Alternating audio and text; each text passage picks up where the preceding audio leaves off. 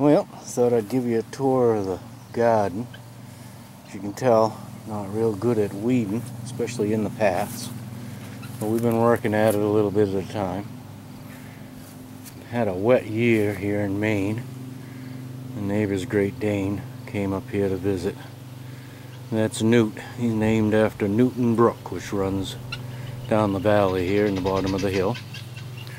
Our corn looks like it'll be knee high. It's already knee high to him. And uh, bunch peas are doing good. My strawberries are just about gone by. There's a few more left. Let's see if I can find a red one here. There's a red one, but I don't know if I can find it on the zoom. There it is. Those are good. Ever bearing, but they're not ever bearing. They just go for two or three weeks, but that's about a three-year-old patch. You see, we're spreading it out on the end there. Got some Kennebec potatoes out on either side of the grapevines. We got some grapes growing. So those are doing good. And rhubarb buried a, an old rusty axe that we dug up out of here. There's some blueberries out there. We got 10 wild blueberry bushes, which I got a fence because my guinea hens that we got to control ticks love blueberry blossoms and they ate all the blossoms off the blueberry bushes. Even the big wild blueberry patch we got over there. They ate every blossom we got. So, and we got some potatoes on that back row. Some my grandson wanted chocolate tomatoes, so girl at the greenhouse sold me some black prince tomatoes. They come out real dark colored, and we got the Romas because we like them, and some cabbage, and carrots, a row of red potatoes over there. Uh, wild tomatoes coming up there from seeds that were left from last year. And some lettuce coming up. Broccoli I planted twice and hasn't done anything Kale, I haven't had much luck with that. Carrots, so-so. I got some peppers out there. Squash is doing good. Got acorn squash and uh, summer squash. And out there in the blueberry patch, I've got two hills of pumpkins and three hills of winter squash. The pumpkins are doing okay, but the winter squash ain't doing too good. So I came up here to get my digging tool because the rain stopped for a little while and I was watching, I think it's Dale up in Madison, Maine, their channel. He was out digging relics and stealth diggers in New Hampshire. It's been raining, so I've been watching you guys' video all morning. Stealth diggers, he's been doing the foundations. And Dave there, Relic Hunting Scotland. I know you guys, the few that watch my videos, all subscribe to him. He's got one of these that he's been going on the beach with and we uh, one of the first videos I did here. Yeah just stay right there you'll be alright. One of the first videos I did was on the foundations when we moved in down here. This was the old county road and we've got quite a few old foundations and rock walls all up and down through here. It goes all the way up over the mountain here the the rock walls I mean uh, the, the county road so we've been poking around the foundations and I've been doing research on the different houses. And pretty interesting, really, once you get into it, you know. The house that we had when we first moved here, this uh, flower bed that we got now, there was an old outhouse here, or what was an outhouse to these two buildings, which were built in the 40s. And I had assumed that that was one of the original houses that were on this map from 1790 to 1840. This one right here that says uh, Andrew Marsh and David Marsh. Well, Andrew Marsh, that's where I'm standing right now. And then the county road is there. So David Marsh, who lived across the street, that was his son. And Andrew Marsh married a Park, and some of the Parks lived down the bottom of the hill here. Well, this uh, Harvey Park house. We found an 1861 or an 1881 Indian head penny there the other day and a nice button. And I haven't found too much around our house. But after looking at it, me set this down for a sec. I found a, a later map from 1880. see now, now my house is owned by a stone, and the one across is a different marsh, a C marsh, and the A marsh is up here, and uh, this marsh down here. This is a I found that 1805 drape bust and my friend Dan just found an 1806 large cent down there by the barn. The house is still there. And uh, this foundation, there's actually two cellar holes down here and then a couple other block foundations. So we found a, uh, we never found any real coins around here till the other day, like I said, I found that 1881 Indian head down here at the schoolhouse, which is where Dan lives. I found the two, I found an 1864 Indian head and two large cents, an 1851 and an 1852. And uh, found a couple buttons up here and some buttons down around this place, but I never found any buttons or old coins other than maybe six or seven in, uh, wheat cents, you know, from the 40s around our place. Then in, uh, this is in 57, I think, or 56. This shows our, where I am right now. And there's three houses here. But the next year there's only two. So I'm thinking there was an old house out here in the field and then they built two new camps here in the 40s. And then sometime after the 50s they tore down the one that used to be attached to this because when we burnt this down it was full of full of square nails. I went through with a magnet filled like a five gallon pail with square nails from this place and this was the outhouse. So I'm guessing the, the other house might have been out here and we had these rocks here. And so I'm guessing that that might have been the foundation. It has kind of a square shape to it but I'm not really convinced of it yet that this is where the other house was because they don't look like foundation rocks. There is a lot of iron around here but it it kind of goes in a line right across here then there's other rocks that that go up this way. So it made me think that this might have been a, a foundation, but it's hard telling. There's a lot of iron down here by the where the dog is in there eating the chicken food. I throw all the scraps in for the baby chickens we got and the dog goes in under the fence. But anyway, Haven't found no bottle dumps. We found one dump way on the other side of the field on the edge of the brook.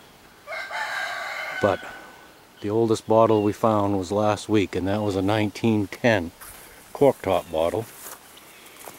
And the wife found this standing up next to it. A headboard or a footboard to a bed. So she had to take that home, put it in her flower bed. But we're going to take a ride down the road and I'll give you the tour of the cellar holes and the foundations. And uh, I think I'm going to do like a little video series on it and document it for my own purposes and then for the those of you who enjoy watching these things. Sonny, get out of the chicken food. Come on. Found your way in there. Find your way. Oh, don't go in the coop.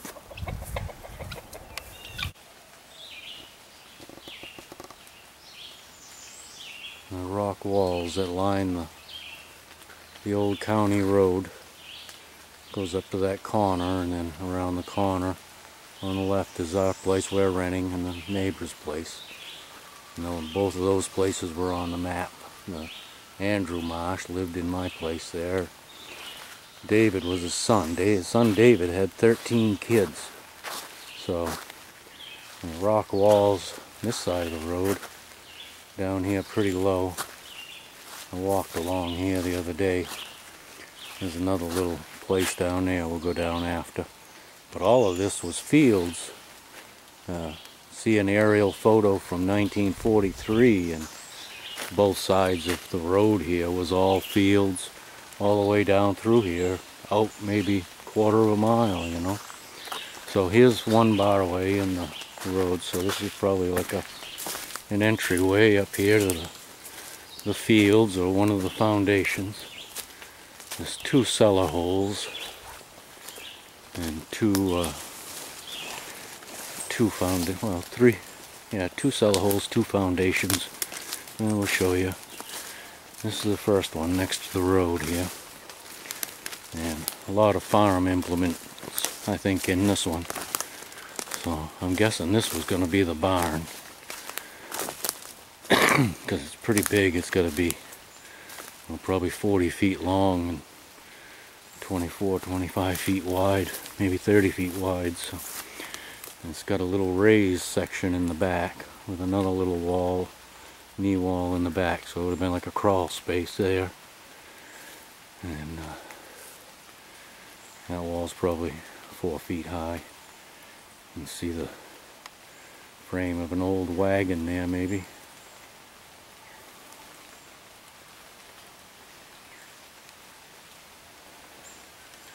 And found a bunch of wagon wheels. Alright so that would have been accessible by the road here. And the other cellar hole is just over the other side here. So let's go around. Give you a little tour. Try to stay out of the real wet stuff.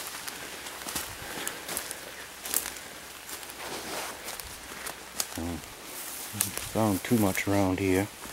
And somebody didn't fill their hole there. Might have been me. Might still be something down there big found a watch part of a clock here. There's a road goes out through there, but you can't really tell which was the original road because of course they've logged in here. But one of these was probably the original road in between the the farm here or the, the barn and then right back here We've got a big granite block here.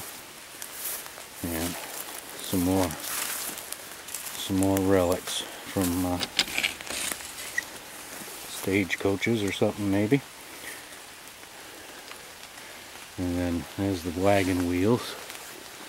So a lot of interesting stuff but we haven't found any bottle dumps or anything but we haven't really spent a lot of time down here. Come down here once in a while spend an hour now we never spend more than an hour or so because my hip gives out after a little while. But, a piece of tin can. This is a huge, huge place. This has probably got to be 40 feet. No, maybe not 40, but yeah, maybe 40 by 50 foot hole, I guess. And that's a good sized place there. And then it's got a little ramp that comes up through here. A little entryway goes out there. There's the, the barn, the road that goes into this. So maybe that's where they had the oxen or something. And the cellar hole hmm. Is over here on the other side of the wall. I'm not going to walk through the main road because it's all grown up with stuff. So I'll go through here. And come down here because it's nice and cool on a hot day and dry on a wet day. This is the, the big cellar hole, we'll call it. So I'm going to assume this was the main house. And uh, I haven't gone down in there to poke around or anything. You see they've been dumping trash in there and brush and stuff over the years. But it's a pretty deep cellar hole. I'd say it was like an 8 or 10 foot cellar, you know, so... Uh, one of the guys that owned this in 1880 also owned the general store and the post office up on the other part of the village. Well, we started doing some detecting down here. We never found any coins, a lot of flat metal, uh, tobacco tins and stuff like that. Did find a couple axe heads, a couple of bricks. And we are down here the other day in the heat and I decided to rake off an area, you know. And say, alright, I'm just going to go and cover this area with a little 5x8 coil and the uh, using the audio, iron audio and the discrimination up on 35 and I just go real slow until I got anything over a 35 if anything 40 and above I'd dig. And dug a lot of flat pieces of iron. Uh, got right there by the tree I got two harmonica reeds. Have them down here. Leaves covered them up here but got a lot of uh, a lot of flat pieces of iron and two pieces of harmonica reed. There's another one down here somewhere. A little knife part of a spoon some piece of metal a couple pieces of glass an old shotgun shell some pottery really thick glass. Top of a bottle. This was kind of neat. It was a hinge which is really nice. So that was a good find. And I had two pieces of harmonica reed here. And I don't remember taking the other one up the house. So that's kind of a mystery so the wife, her channel's looking for ghost. She's the psychic. She likes that ghost hunting. So maybe Mr. Marsh or Mr. Holman decided he wanted that harmonica reed back and took one of them. So I don't remember taking one up the house, but I very well could have. But anyway, this is one of the spots we're going to try and there's another small cellar hole over on the other side here but I'm not going to walk through that stuff. So I'm going to backtrack around and I'll catch up to you when I get over there with some fairly dry feet. Well rain is really coming down now but I made it down here.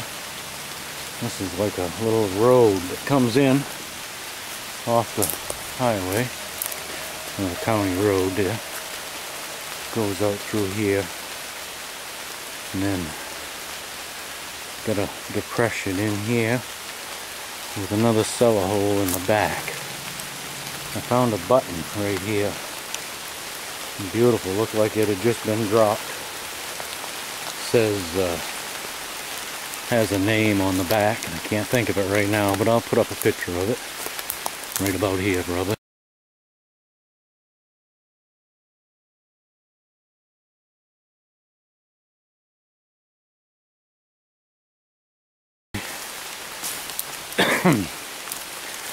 yeah, we haven't found any wells or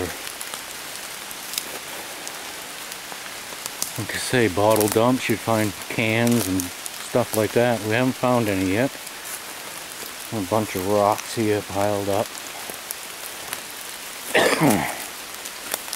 Some of the chunks of iron we've been digging up here. And uh, some more piled up there. But this is a pretty small foundation, probably oh, 10 feet, 12 feet by 12 by 20 maybe. So there's an old tin pan down there, a pot of one.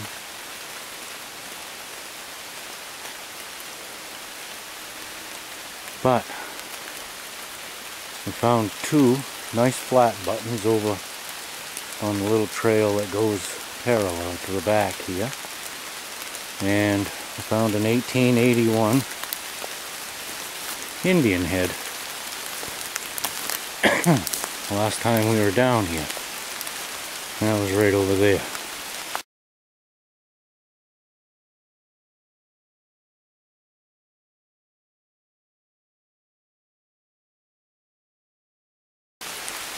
I didn't find any others. Dan found another button down there. Rain's really coming down. I got one more place across the road I want to show you. And then we'll let you go until next time. I'm getting pretty wet. Alright, well that was the where the barn and everything was over there. And there's a road that goes down through here. And then uh, that small foundation that I just showed you there. And it goes back down here and then there's another road that goes over that way. And then there's this road that comes down through here. And uh, dug a, a nice buckle in here last year. And we've hunted up and down through the, the rock wall here, never found too much. And then over here, the size of that birch, that's been there for a long time. More snap iron that we dug up. Got this loading ramp is what I'd call it. Right on part of the wall. Then it looked up above there. Found an axe head up there. Found a few axe heads. About three or four around here. Um, this looked like a loading ramp. This is the only sign of a dump that I could find. It's got some cans, but none of it really looks old, you know, it's uh, fairly modern stuff. And they're all the same type of cans, so like brake fluid or something. But I'm going to scratch around and see if I can't find some re remnants of an old dump around. Maybe walk up along the road here a little bit. But I'm going to make a series of videos of trying these different places. So this is kind of an intro to that because sure ain't to do much today the way the rain's coming down.